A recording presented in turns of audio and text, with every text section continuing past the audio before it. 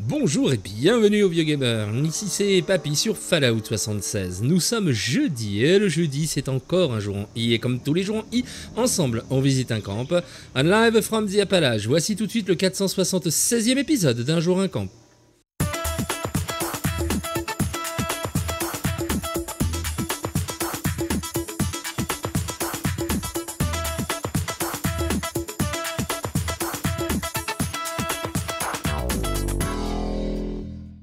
Aujourd'hui, nous visitons le camp de Blazing Stars 987.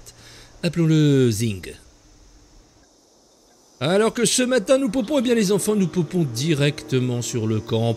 Nous sommes à nouveau dans le Bourbier et nous sommes à nouveau sur le site de la Cascade, le célébrissime site sur lequel tant de camps ont déjà été euh, construits avec un, magnifique ruissellement d'eau et un camp, ma foi, très très aérien qui n'est eh ben, n'est pas loin, enfin non, qui même pas qui n'est pas loin, qui est un loft aérien très clairement puisque l'ensemble de la structure à hauteur de la cascade ne tient que par la magie et la solidité absolument fantastique et incroyable de l'acier de cet escalier. Donc c'est un camp aérien, c'est un loft aérien comme j'appelle ça, qui est placé pile devant la cascade. Par contre, par contre, les enfants, ici, déjà à ce niveau-là, c'est très très joli. Très très joli, comme dirait euh, Christina. Très, très Euh, joli, puisque hein, vous euh. avez des petits froufrous de la Fashnart, euh, vous avez une rampe de lampe stalactite. Alors là, on fait la visite deux jours, mais je pense que de nuit, le rendu doit être fort, fort sympathique. Sinon, notre loft, aérien, il repose, l'escalier en lui-même repose bien sûr sur un socle en béton, juste un carré sur lequel, euh, enfin, qui est en, en céramique en céramique, en petits carreaux, en mosaïque, petits carreaux de céramique orange et noir, et sur lequel a été posé ce magnifique tapis de l'abri 76. Un petit peu de plantation, hein, quelques tulipes ici dans des pots, c'est toujours très sympathique. Et pour compléter ce qu'on a en contrebas du camp, il y a un préfabriqué et un seul, les enfants. Il est ici et il s'agit du nid des aigles sanglants. Il est posé là à fleur de rocher, comme ça, euh, en haut ah oui, c'est d'accord, c'est un arbre. euh, c'est quand on le regarde, il est là. Quand on le regarde plus, il disparaît. Quand on le regarde, il est là. Quand on se tourne un peu d'un seul coup, paf, il est plus là. Il est là. Il est plus là. Il est là. Il est plus là. Par, papy, pardon. Oui, c'est vrai. Excusez-moi. Si ça dépop, vous allez vous foutre de moi après parce que j'aurais joué à ça alors que ça n'avait strictement aucun intérêt. Nous avons donc un, un nid des aigles sanglants qui semble euh, être utilisé comme une espèce de vigie. Vous voyez, vous êtes en amont, avant le camp, et puis vous surveillez ce qui se passe en contrebas, euh, le long de l'écoulement donc de ce torrent de montagne qui dévale. Vous il a un joli foyer communautaire, l'occasion d'une petite scénette avec un foyer communautaire auprès duquel sont posées toute une série de peluches, à commencer par le gros et le petit Chip Squatch, Graham, le super mutant vendeur, et puis, et puis le colosse Wendigo, ainsi qu'une toute petite grenouille de l'autre côté. Elle est toute petite par rapport aux autres, mais elle est belle et bien là. Euh, voilà une utilisation que j'aime bien du nid des aigles semblants, là, comme une espèce de, oui, comme une espèce de tourelle de défense. Un poste de défense en hauteur qui surplombe la vallée en dessous et qui permet de s'assurer euh, s'il y a des ennemis qui passent pas. Oh, il y a autre chose là-bas. Regardez, il y a un feu de camp. Il y a également un feu de camp qui est posé au pied de, de ce fameux euh, arbre gigantesque, de cette énorme branche qui dépasse et qui des fois peut poser des problèmes dans la construction au pied de la falaise. Eh bien, il a construit quelque chose d'autre là-bas, on va aller voir les enfants. Un petit feu de bois, un petit tas de bois, mais en fait, c'est quelque chose du jeu. Ça, alors, euh, j'ai l'impression que c'est vraiment quelque chose du jeu. La chaise et le, petit lapin de Pâques, lui, non. Ça, ça, il a été posé ici. La chaise, peut-être aussi, je ne sais pas. La tente, elle, elle est naturelle, tout comme le vélo, j'ai l'impression. Ça, vous savez, euh, je, le- je le redis à chaque fois, mais je vais le redire encore, bien sûr. C'est le genre de choses que j'aime beaucoup. Euh, lorsque vous êtes là et que vous ne savez plus qu'est-ce qui fait partie du jeu, de qu'est-ce qui a été rajouté. Là, ça, cet item-là, je crois pas qu'il soit disponible en jeu. Donc, ça, c'est le jeu. Les petits lapins de Pâques qui ont été posés, par contre, les peluches, non. Elles, elles ont été rajoutées. Je pense que le feu de camp ici également. Voilà, bon, on va s'intéresser désormais au camp en lui-même. Notons en dernier lieu qu'il y a ici une espèce d'aménagement avec des petites étagères sur lesquelles il y a des, il y a des citrouilles en plastique hein, euh, dans le style totalement Halloween. C'est un item qu'on ne croise pas souvent. Je ne pourrais même plus dire s'il était, euh, si c'est un item premium de la boutique ou si c'est quelque chose dont on peut récupérer le plan dans le jeu, mais c'est pas quelque chose qu'on voit régulièrement. Et derrière, il y a une trapounette d'abri, mais ça, c'est pour tout à l'heure. Intéressons-nous donc au camp en lui-même, les enfants. Montons la volée de marche, montons le grand escalier avec des petits, carillons d'os. C'est visiblement, vous le voyez, sur au moins deux niveaux. À ce premier niveau, j'arrive et je découvre à nouveau la cascade avec un, un Volteboy qui est heureux de prendre l'eau, très clairement. Deux lampadaires à pétrole pour une belle luminosité, même si là, en journée, encore une fois, ça rend pas forcément de manière optimale. Je pense qu'une visite de nuit aurait été vraiment, vraiment mieux.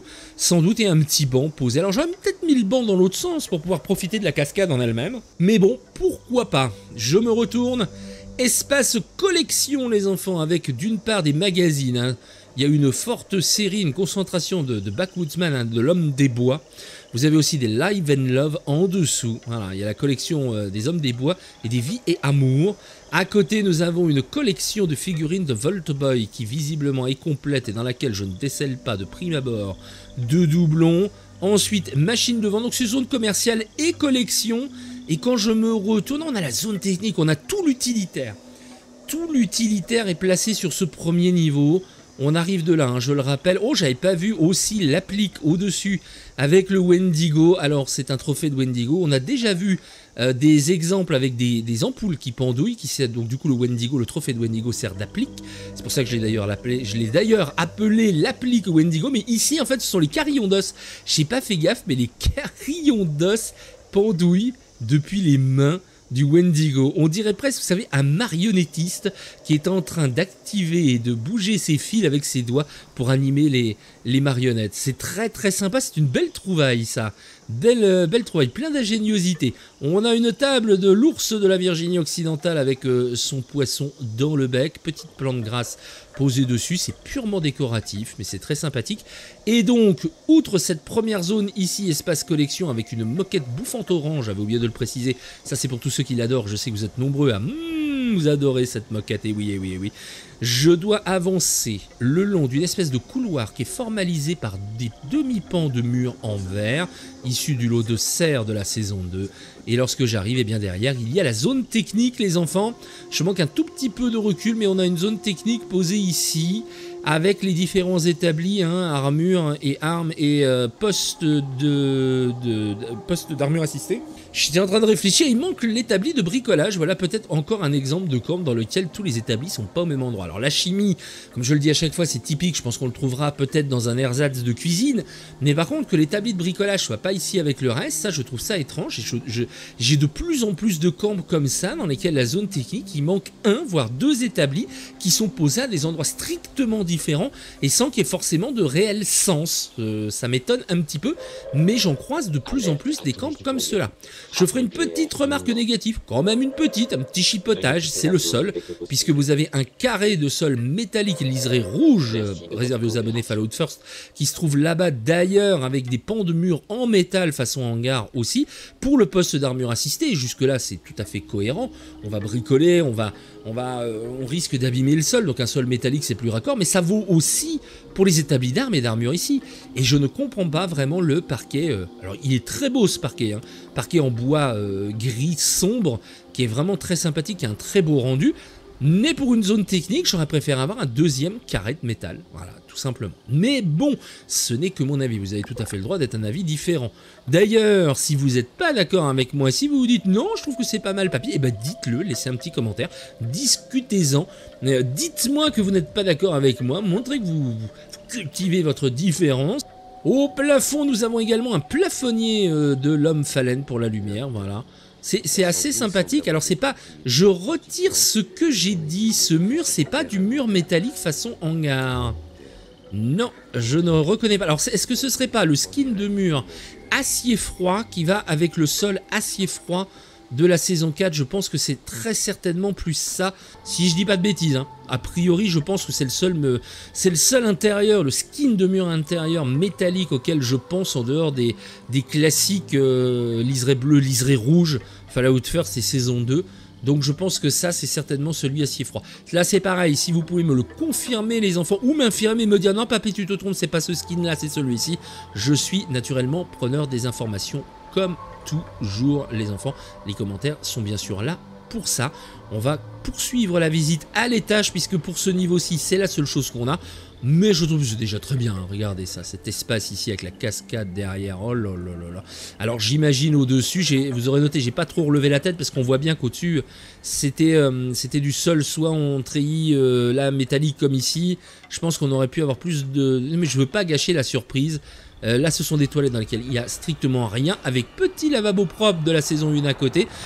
Bref, nous arrivons à l'étage. Alors, le design est assez étrange, parce que du coup, alors loft aérien sur un étage, je comprends. Sur un deuxième, je peux comprendre aussi. Mais par contre, ce qui m'étonne, c'est, regardez ici, c'est très très ouvert. Vous êtes là et vous n'avez même pas une rambarde, vous n'avez rien du tout, vous avez juste cette foutue grande euh, racine, branche d'arbre en même temps.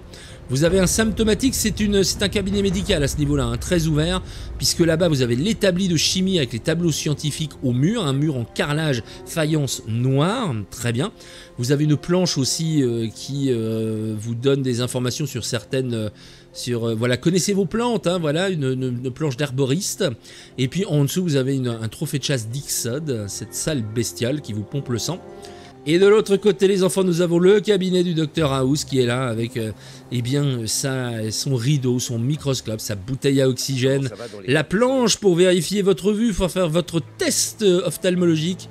Vous avez aussi le joli panneau qui vous dit que le docteur est là, mais ça, on l'avait vu, il est ici avec une magnifique, une magnifique blouse de la confrérie de l'acier. Alors, il y a cette blouse scientifique, elle existe aujourd'hui en version Voltec, en version confrérie de l'acier et en version Arctos Pharma. Il y a le même espèce d'appareil sur la, partie droite de la poitrine dont on ne sait pas trop ce que c'est, un compteur GGR j'imagine. Et puis il n'y a que le logo qui change de l'autre côté. Et notre allié, le Dr House, ou pour être plus précis dans l'univers du Dr House, le Dr Foreman qui aurait mal vieilli, euh, il est tout aussi dégueulasse. Je le voyais pas vraiment comme ça à chaque fois, mais là, c'est flagrant. Regardez, genre, mais le Pip-Boy, regardez, la blouse. Il est dégueulasse. Il est immonde. Mais ils sont tous, ils sont tous pas propres, c'est incroyable. Bref, le symptomatique aussi, je ne sais plus si je l'ai dit, je me répète. Et à cet étage-là, alors qu'on a un autre escalier qui va nous mener encore un cran au-dessus, eh bien, nous avons derrière une petite avancée de toit là, pentue pour protéger le laboratoire. On va rentrer, on va découvrir de nouveau un sol mosaïque euh, doré et noir comme le carré de sol à l'entrée du camp tout au rez-de-chaussée. Et puis là, c'est bah, la cuisine, tout simplement. Espace cuisine, j'imagine, de ce côté-ci. Voilà, la cuisinière dans son skin émail rouge. À côté, un buffet, buffet de style cuisine dans lequel il y a euh, deux vases deux vases ou deux grands verres à pied, dans laquelle vous avez euh, de la purée minute. Ici, au-dessus, vous avez des épices, une toque de cuisinier, et ici, il y a un sac dont je ne sais pas trop ce que c'est. Euh, là, j'ai un doute sur ce que c'est. Si vous savez, j'allais dire c'est de la farine, mais la farine, c'était, on l'a vu l'autre fois, c'était un sac tout blanc. À moins que ce soit un item particulier, là encore. Oh, qu'est-ce que je vais vous demander votre avis et des informations dans les commentaires. Dites donc, incroyable. Et de l'autre côté, lorsque vous avez fait la cuisine, vous vous installez pour manger, petite salle à manger. Alors c'est tout simple, hein. c'est cohérent en plus, c'est du Red Rocket avec éléments de comptoir sur le côté, la lampe Red Rocket et puis derrière une table haute hein, qu'on reconnaît avec les pieds en, bas euh, qui sont en forme de fusée. Et puis les sièges rouges avec les logos du Red Rocket. Derrière, vous avez aussi Oh, c'est un petit jardin ici. Oh, c'est fermé le rideau. Ça, c'est ridicule. Un verrou sur un rideau. Je crois que là, on a atteint le summum du ridicule. Mais bon, on voit ce qu'il y a derrière grâce à la paroi vitrée du lot de serre. Vous voyez que c'est un petit jardin. Petit carré de jardin là ici avec euh, des pomates notamment. Beaucoup de pomates, voire même que des pomates. Euh, je crois bien qu'il n'y a que des pomates. Et il y a la ruche derrière. Bon, il a créé ça ici. Une espèce de mini balcon terrasse agricole. Je trouve l'idée fort sympathique. Mais c'est fort dommage pour trois pauvres pomates qu'on ait un rideau qui nous empêche de l'admirer complètement. C'est vraiment, vraiment dommage. Euh, cette petite pièce ici, c'est à la manger, tient de la véranda, hein, vraiment, parce qu'elle est full verre. Hein. C'est un petit écrin de verre comme ça pour cette toute petite table et des chaises. Et, je trouve que c'est pas mal. Vous savez, la réflexion qui me vient là, ici, c'est que souvent, quand on voit du Red Rocket, eh bien, les joueurs ont tendance à faire du Red Rocket. Red Rocket égale zone de restauration, euh, station-service, donc on met des banquettes, des tables. J'ai bien dit des. Des banquettes, des tables, des tables, des chaises. Là ici, et c'est assez rare pour le noter, il n'y a qu'une seule table, deux petites chaises autour, et c'est tout, avec le petit élément de comptoir sur le côté. Là, il a utilisé le skin Red Rocket, mais vraiment uniquement pour son intérieur personnel, sans volonté de de reconstruire sans, volonté d'imiter l'existence d'un vrai relais routier ou d'un restaurant. Non, non, non, juste pour sa petite salle à manger, il a émis le style Red Rocket. C'est intéressant à noter parce que c'est assez rare souvent le Red Rocket. Hein. vous regarderez si vous voulez les épisodes d'un jour un camp dans lesquels on a vu du Red Rocket. C'est assez rare qu'on ait qu'un seul, une seule petite table et deux petits tabourets. Sinon, nous avons ici une shop. Euh, non, c'est pas une shop, c'est une vitrine sur laquelle se trouvent les shops. Elles y sont toutes, hein, toutes celles qui sont disponibles euh, aujourd'hui. Je vois euh, celle des saisons 1, 2 et 3. Non, il manque la saison 4, elle est pas là. Il y a la semaine de la viande, il y a également la Fashion Art et puis une, une shop classique traditionnelle, on va dire, derrière. Il n'y a pas la shop de la, de la saison 4 avec le skin du la tête de la Zérotron.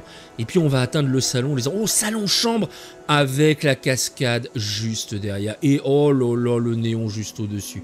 C'est sympa comme tout, regardez ça, vous avez une chambre. Et puis alors, eh ben, écoutez, il s'est dit qu'un mur complet avec de la tapisserie, du lambris ou autre, c'était pas bon. Que même du verre, en fait, c'était encore de trop. On enlève le verre, et on se contente d'avoir la cascade en arrière-plan. C'est juste formidable. Et pour juste lui dormir tranquillement, sans doute ne pas recevoir trop d'éclaboussures d'eau en arrivant là depuis la cascade, eh bien, son lit à baldaquin de l'homme phalène, il a placé juste derrière, regardez quoi, un tout petit paravent. Tout, tout petit paravent. Avec la petite peluche du Chip Squatch posée dessus, il y a une table en bois de la Virginie occidentale et un lit double, un lit superposé pour les enfants de ce côté-ci.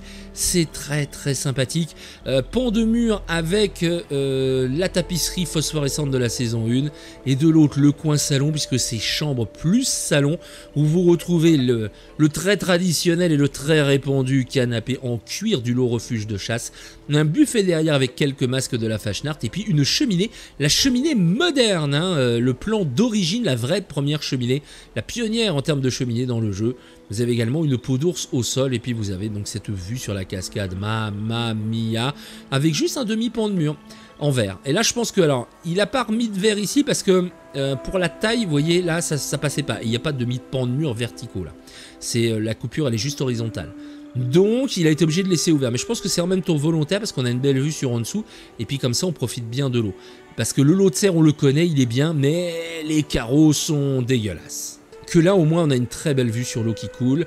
En plus de ça, derrière le paillasson, derrière le paillasson, pardon, derrière le paravent, vous avez un petit coin jardin encore ici, regardez ça, il a posé quelques petites plantes ici, un cactus, une, une plante carnivore. Oh, je vois au-dessus, regardez, il y a le jacuzzi qui trône tout là-haut.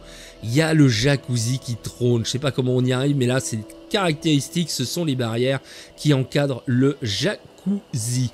C'est superbement sympathique. Alors, vous savez que je suis pas un grand grand fan des lofts aériens, mais là j'aime beaucoup. En plus, la construction est très très atypique. Il y a pas mal d'espaces qui n'ont pas de, qui n'ont pas vraiment de façade, voyez. Donc là, il manque des façades, c'est volontaire, c'est très très ouvert, avec vue sur la cascade, c'est très sympathique. De ce côté-ci, le entre guillemets laboratoire cabinet du médecin, lui aussi est très ouvert.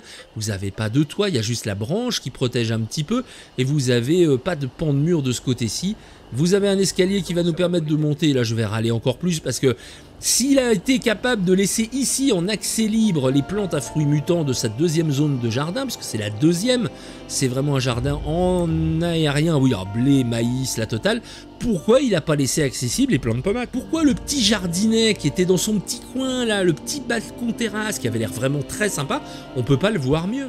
Alors que là, il nous a fait une terrasse qui a rien d'extraordinaire. Il a fait une grande terrasse. C'est juste des éléments de sol qui sont posés en haut d'un escalier, qui sont raccordés à rien du tout. C'est de l'aérien total. Et il nous a planté, pouf, toute une série de, plantations. Que là, il y avait en dessous, il y avait un véritable aménagement. Avec juste le petit bout de terrasse, c'était quand même vachement plus sympa. En tout cas, je trouve à titre personnel. Et sinon les enfants, il y a d'autres éléments là-bas, mais alors comment est-ce qu'on y arrive? Euh, bah, C'est à se demander si on n'est pas obligé, si on n'est pas obligé de sauter sur la branche, voilà ce que je fais. Ce qui n'est pas tout à fait voulu là. Alors là par contre on part dans le n'importe quoi en termes d'aménagement, je trouve. Autant jusque là c'était bien, c'était original, c'était cohérent, autant là, euh, si on est obligé de grimper sur la branche pour voir qu'il y a un ici, une bétonnière, enfin pardon, un, récolteur, un fertilisateur turbo-fertile, je sais plus son nom, c'est pas grave. Et là, quand je prends la branche, et eh ben oui, je vois un baril ici métallique enflammé. Je vois le poste de collectron récupérateur au skin de l'As Pillard. Et puis au-dessus, eh bien, il y a les enfants The Must Have de l'été, le jacuzzi. Le jacuzzi, alors par contre, qui est juste posé. Hein. Il est vraiment juste posé là avec une petite cache à côté. Il n'y a pas de mise en scène. Il n'y a pas de luminosité. Et ça, c'est un peu dommage sur cette zone-là. Euh, et voilà, là on, là on va avoir, je vais passer en mode en mode, euh, hop là, on y est, en mode paparazzi pour voir depuis au-dessus cette structure dans les arbres. On pourrait presque croire ici que c'est niché dans les arbres, sauf que quand on y regarde bien, c'est pas tout à fait le cas. Hein. C'est vraiment un loft aérien pur et dur. Alors moi j'ai bien apprécié les deux premiers niveaux, euh, après l'espèce de jardin encore installé en haut là que vous voyez en arrière-plan. Euh, comme ça, je suis pas fan et le fait qu'il n'y ait pas d'escalier ou de plateforme qui nous amène jusqu'ici, qu'il n'y a pas de lumière, peut-être un manque de budget aussi au bout d'un moment, hein, c'est possible, je ne, dirais pas le, contraire. Mais je pense qu'il y avait peut-être beaucoup plus moyen d'intégrer le jacuzzi, notamment près de la, cascade encore. Euh, euh, ça aurait été pas mal du tout. En tout cas, assez intéressant, je trouve. Jusque là, il y a des petites choses qui me plaisent un peu moins, mais globalement, c'est quand même très très sympathique comme aménagement. Là, je vais essayer, euh, si c'était possible, de pas trop me vautrer, pour essayer de redescendre tranquillement, ce que je vais faire en, passant là, hop là. Alors, avec ce joli aménagement ici, regardez, on va revenir à l'entrée maintenant que c'est la nuit. Regardez, quand je vous disais que ce serait beaucoup plus sympathique de nuit. Là, les froufrous avec la luminosité bleutée de la rampe de lampe stalactite est vraiment très sympathique. Je crois vraiment que c'est un camp qui est plus fait, encore une fois, pour une visite de nuit que de jour. Et maintenant, nous allons aller dans la salle de maintenance de l'abri en espérant, en espérant que ce ne soit pas un vieux gymnase désaffecté. Que nenni les enfants, que nenni, oh que c'est beau, c'est très éclairé, hein, ce qui change justement pour cet abri souvent mal éclairé. Vous avez cette entrée ici avec les tableaux des quatre premières saisons qui sont collés l'une à l'autre. Saison 1 du Capitaine Cosmos en haut à gauche, en dessous vous avez celle de la saison 2 hein, de l'As de l'Armure qui se battait contre le subjugateur communiste. La saison 3 en bas à droite avec Cadet Inkwell pour sa première apparition en tant que euh, archéologue temporel et au-dessus le retour de l'As de l'Armure qui se battait contre, je sais plus son nom là, les robots, les jugbox, euh, les jugs, c'était des jugbox mécanisés. Et voilà, eh bien nous aurons bientôt celui de la saison 5, j'imagine, puisqu'elle commence aujourd'hui, enfin elle a commencé hier. Sinon nous avons un joli salon de ce côté-ci, alors il y a des caches dans leur skin bibliothèque qui rendent toujours très bien. C'est très symétrifié puisque vous avez la même de chaque côté avec des lampes trépieds euh. Ensuite la bibliothèque. Ensuite dans l'angle l'immeuble bas avec différentes décos dessus. Là les décos changent. À gauche vous avez la géode en forme de cœur. Vous avez aussi des roses qui sont plantées dans une espèce d'essieu de voiture absolument immonde. Un chat euh, en buis. Et de l'autre côté vous avez une shop dont je vois euh, clairement d'ici que c'est la shop de la Fashnart. La lampe avec l'ours noir de la Virginie occidentale et entre les deux le très célèbre petit voilier dans sa bouteille et au centre, au centre les enfants. Nous avons une cheminée, une porte secrète en forme de cheminée très sympathique et deux fauteuils posés devant. Ce sont des aliens qui sont en train de profiter du feu de cheminée avec une peluche de Colosse Wendigo posée juste devant les flammes. Je vais ouvrir la porte les enfants et derrière j'ai une autre porte d'abri, ça ne rigole pas, pour arriver et découvrir... Oh Ah oui c'est la fiesta les enfants, c'est la fiesta, regardez ça. Magnifique tapisserie déjà de chaque côté, la tapisserie euh, euh, très sombre, noire presque avec les écailles dorées. Parquet sombre au sol, très très sombre ce parquet avec les confettis de la Fashnart en très grand nombre. Là il y en a beaucoup beaucoup, mais alors le trouve que le rendu de couleur des confettis de la Fashnart sur ce sol en parquet sombre, ça rend très bien. C'est sans doute le meilleur rendu visuel que j'ai vu sur les confettis. Très clairement, j'adore l'aspect euh, visuel que ça donne de la chose. C'est magnifique. Là, on dirait vraiment qu'il y a eu la fiesta. Il n'y a pas de doute, on a fait la fiesta ici. Ici, nous avons un banc de musculation. De l'autre côté, un vieux sac de frappe, j'imagine. Ben voilà, il est là. Toute la pièce est décorée avec euh, cette tapisserie en écaille. On a une galerie de tir qui n'est pas la galerie de tir de l'As de l'Armure de la saison 2, c'est le Duck, euh, Duck Hunt, Duck je DuckTales, j'ai plus le nom. À chaque fois, je confonds. Pardon. Le, le c'était ce jeu où on, on tuait des, des, canards avec un pistolet sur une, sur une Nintendo, sur une Nintendo, comme disait l'autre. Et puis au centre de la pièce, alors c'est mix de sol, ça j'aime beaucoup quand on change. Vous avez une allée qui est une allée en moquette au centre, une moquette à, à différents euh, carrés, rectangles de couleurs, qui est un lot de moquettes d'abri. Euh, qui, a presque un an maintenant, il me semble que c'était l'été dernier, et c'est pas mal du tout. On a des sièges, alors ce sont des sièges matelassés inclinables en pied de poule vert. Chaise matelassée inclinable, pied de poule vert. Oui. Ah ça y est, je commence à les retenir, celle-ci. Une table de l'univers de, de l'homme phalène entre les deux.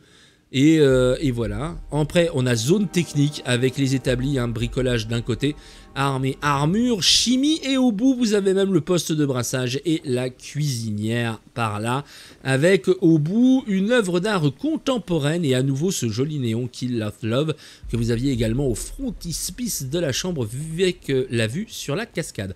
J'aime beaucoup, alors surtout cette zone ici, la tapisserie, le parquet et les confettis c'est juste formidable. Il a dû, je sais pas mettre combien de couches de confetti par contre, mais c'est vraiment pas mal du tout. Et les enfants, on n'est pas au bout. Hein. On n'est pas au bout puisque vous avez deux masques d'art contemporain qui nous ouvrent vers une porte. Une porte, les enfants, qui va nous conduire jusqu'au hall d'abri fortifié. Bienvenue dans le hall d'abri fortifié. Eh ben écoutez les enfants, on est clairement dans un hall d'abri fortifié. Hein. les gens prennent vraiment cet abri-là au pied de la lettre assez souvent puisque la thématique militaire, la thématique guerrière et plus encore spécialisée la thématique confrérie de l'acier est quand même très très très très représentée dans, dans ce hall d'abri fortifié. Vous avez ici des barricades de défense de chaque côté, vous avez deux mannequins, un mannequin dans une tenue de camouflage, confrérie de l'acier, avec un béret confrérie de l'acier. Et de l'autre côté, vous avez la, la, tenue Call of Duty, comme je l'appelle, qui pour moi n'est pas raccord avec avec l'ambiance et le, style général de Fallout. Hein, ça m'a frappé l'autre fois, j'avais pas fait gaffe avant et d'un seul coup ça m'a frappé, puisqu'on est quand même, je le rappelle, dans un jeu avec un style dit rétro-futuriste, c'est-à-dire une Amérique futuriste, mais qui est resté bloqué dans le style, dans un style rétro, années 50, années 60. Euh, qui est très très visible partout. Hein. Et là, cette tenue-là, elle est trois fois trop moderne. C'est une tenue Call of Duty, c'est pas une tenue de militaire dans les États-Unis d'après-guerre dans les années 50-60. Clairement pas. Bon, ça c'est le petit défaut. Je comprends qu'il faut aussi surfer euh, sur la vague, sur l'actualité, sur la modernité, mais bon, moi je suis un petit peu moins fan de cette tenue-là. L'escalier en Y, il n'y a pas grand-chose à y dire, si ce n'est que nous allons découvrir ah, les quartiers résidentiels par ici. Voilà, là-haut, il y a une pièce supplémentaire. Oh, il y a une pièce au-dessus, les enfants. Il a rajouté quelque chose, un étage, je monte l'escalier. Je peux couper la lumière pour l'instant. J'ai ici, on me dit, euh, bah, on me dit résidentiel, justement. J'arrive et je vais trouver des quartiers. Voilà, un petit dortoir qu'il a aménagé au-dessus. Avec l'Evoltech de la saison 3, alors pour que deux personnes puissent dormir dessus en même temps, il a rajouté un sac de couchage. Il y a du mobilier d'abri à côté, hein, la table basse avec euh, alors la lampe, euh, la lampe avec l'ours de la Virginie occidentale. Ça, c'est pas le, meuble d'abri. Je parlais bien de la l'espèce de table basse à côté, de la table de chevet. Vous avez une boîte en métal au pied du lit, une commode d'abri là-bas également. Et après, ce sont des lits superposés très bien. Et on retrouve encore l'Evoltech de la saison 3 de l'autre côté avec à nouveau un sac de couchage pour que deux personnes puissent dormir en même temps dans le lit. Parfait les enfants, je retrouve une petite rambarde d'abri, je redescends et je vais découvrir la pièce au fond. Le médaillon de la confrérie est sur la porte, au-dessus de la porte, vous avez deux buissons taillés en boule autour, c'est assez sympa. Belle luminosité très claire et là je vais trouver la salle, la salle opérationnelle bien sûr avec la table de la confrérie de l'acier. On ne peut plus euh, classique on dira. Euh, avec pas mal, il y a une composition florale autour, hein, des petits pots de fleurs, vous avez des arbres en pot même, et des plantes carnivores. Bon moi personnellement je suis un petit peu moins fan, hein, très honnêtement là je trouve qu'il y a peut-être un petit mélange des genres. Mais bon, pourquoi pas. Et puis tout au bout, il y a quelques meubles d'abri avec un nouveau mannequin qui est dans une nouvelle tenue, les enfants. Euh, tenue de scribe, hein. je pense que c'est une tenue de scribe. Si je ne dis pas de bêtises, mais on reste raccord sur le thème de la confrérie de l'acier. Bon, c'est, c'est, on, sent que là, il y a peut-être un manque, euh, je sais pas, un manque d'idées. Il y a peut-être un manque d'items aussi pour pouvoir faire ce qu'il veut. Ah, c'est une porte d'abri vers les quartiers résidentiels, les enfants, mais je ne vais pas vous les montrer car ils sont particulièrement dispensables et ne présentent pas de, de, réel, euh, réel, réel intérêt. Voilà, écoutez les enfants, nous allons plutôt rester ici devant la cascade, absolument fantastique. Et c'est ici que nous allons arrêter cet épisode. J'espère que ça vous aura plu, j'espère que vous aurez bien aimé cet ensemble. hein. Encore une fois, les commentaires sont là, euh, ils sont là pour vous, pour que vous puissiez le dire. Je vous ai demandé beaucoup de choses d'ailleurs au cours de cet épisode. Si vous avez les réponses, les commentaires sont faits pour vous, bien sûr. Si vous avez apprécié la vidéo, cliquez sur le petit pouce bleu. Vous pouvez partager la vidéo pour la faire connaître, faire connaître un jour un camp à d'autres joueurs éventuellement. Vous pouvez donc euh, vous abonner si ça n'est pas encore fait. Et puis donc les, les commentaires, c'est le pack, hein, le pack YouTube, pouce partage, abonnement, cloche et commentaires. Moi sur ce, je vous fais tout plein de gros gros poutous. Je vous souhaite une excellente journée. Regardez cette magnifique vue. Je vous souhaite un très très bon jeudi et je vous donne rendez-vous dès demain matin naturellement pour un nouvel épisode d'un jour un camp. C'était Papy, on live from euh, the Appalaches. À vous les studios. Ciao